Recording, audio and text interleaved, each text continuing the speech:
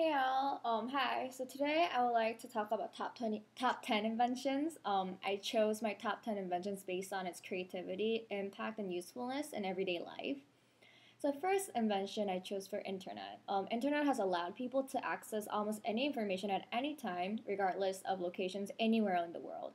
So its huge effect on economy, communication, business are profound and groundbreaking. Internet diffuses and recombines information with such efficiency that it accelerates the rate of creating further world-changing innovations. For my second invention, I chose telephone.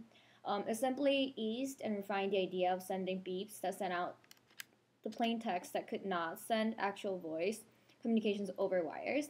Such development and communications effectively impacted the world. Um, it went from a world where it took almost a month to hear news from across the country to one where worldwide news are constantly played in almost all over the world.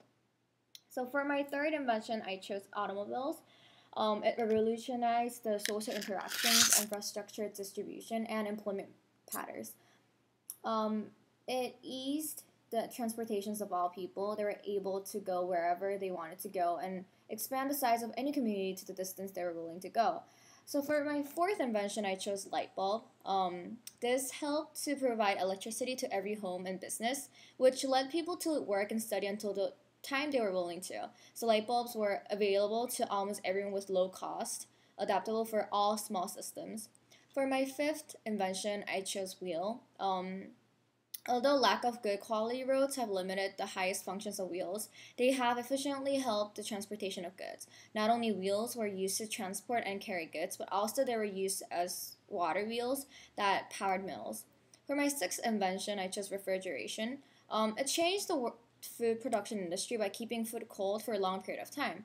It has allowed to maintain meats and dairy products fresh even in the hottest summer months, which helped to keep the pace of fast-growing population. For my seventh invention, I chose sewing machine. The clothes that took three hours to be made were not stitched in just half an hour by the invention of sewing machines. So such easier, convenient way to make clothing benefited the women who did not afford expensive clothes, as they could stitch clothes in a professional manner on their own. For my eighth invention, I chose steam en engine.